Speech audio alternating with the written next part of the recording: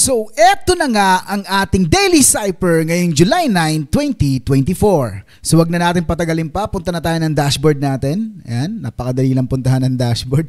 Ayan, sa mga bago dyan, no, yung Daily Cypher natin is nandito sa taas. Ito, kung nakikita nyo yung mouse na yan, yan yung Daily Cypher natin. And bago natin simulan yung Daily Cypher, punta muna tayo sa Cypher code.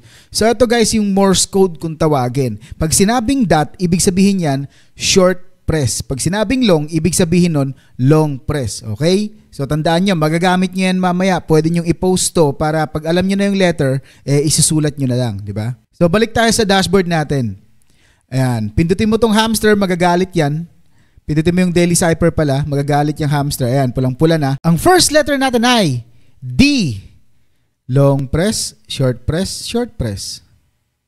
Second letter ay A. Short press, long press. Ang third letter natin ay G. Long press, long press, short press. Boom! Ganun lang kabilis guys, no? Pindutin mo yan, take the price.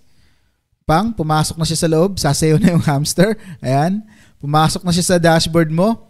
So, yun, sobrang dali lang. So kung nakatulong sa itong video na to guys, huwag mo kalimutan mag-like kasi thank you mo na yan sa akin. At syempre kung gusto mo mag-subscribe dito sa YouTube channel natin, eh mag-subscribe ka na. Baka may mga video ko na pwedeng makatulong sa'yo. Baka lang naman. So paano ba yan guys? Kita-kita tayo sa sunod na video and peace!